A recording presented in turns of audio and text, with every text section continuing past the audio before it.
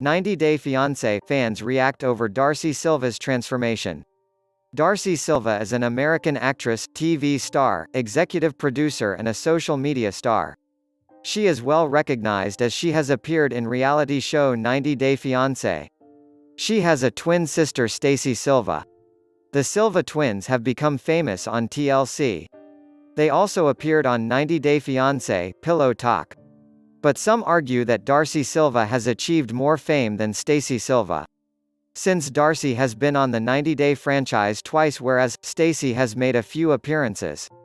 The twins also made public appearances over the years.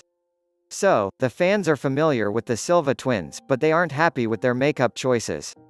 Fans were shocked over Stacey's makeup style.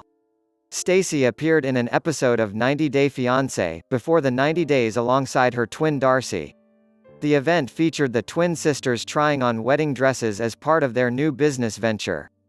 Darcey and Tom Brooks are on the new season of 90 Day Fiancé, before the 90 days, but fans already know that the couple has split. It turns out that her exes Tom and Jesse Meester are good friends and have a good laugh over having dated her in the first place. Darcey has also made headlines for the recent transformation of her face now and from 10 years ago. However, an online video is viral, which shows the work that Darcey has gotten done.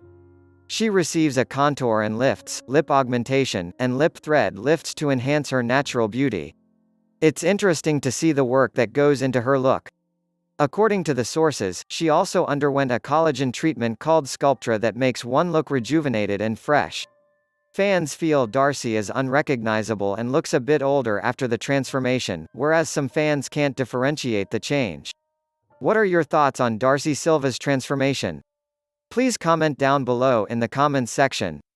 And don't forget to hit the like and subscribe button to support us and the latest updates and news.